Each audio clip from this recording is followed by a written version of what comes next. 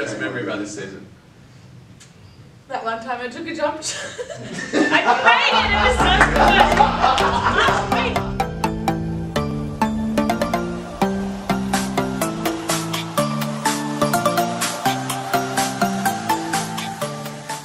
Hey everyone, I'm going to start with that. That was a good one. Welcome to the first edition of Hornets TV. My name is Michael, I'll be your host. I've played basketball here for over 10 years now. 15 years involved in the organisation, running things and coaching and, and training and playing. What we're here to do today is meet and greet some of the senior rep players who have just finished their 2017 season.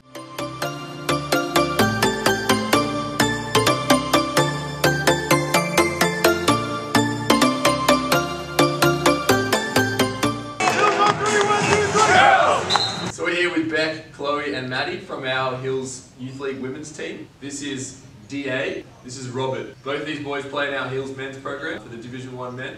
What do you like most about being a Hornet? I really love the community aspect. Everyone's friends working together. That, that tight-knit group of uh, lads is just, yeah, it's great. It's just a nice, kind of inclusive environment. joining a new group this season, like a new playing group, everybody being really welcoming to me, getting to know them on a social level. I don't think you get that at a lot of places. as much as we all wanted to play basketball and be competitive, it was great just to be able to get out of the house and socialise together. So you're playing basketball with your best friends. Pretty much. What was your best memory about this season?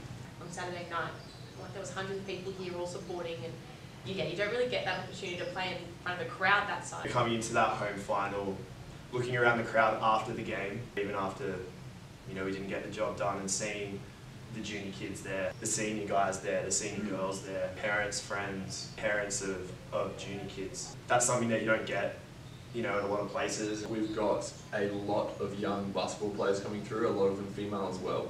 What message would you have for them? Train hard, put in the extra, put in the extra work. The program that we have here is so strong and it's just so beneficial. Just keep going. You're only going to be as good as you let yourself be. You're only going to get back what you put in, put in the extra sessions, you listen to your coaches, you will get better. If you could come up with a catchphrase for the Hornets, what would it be? Watch out for the Hornets, otherwise you'll get stung. If you mess with the Hornet, you're gonna get stung.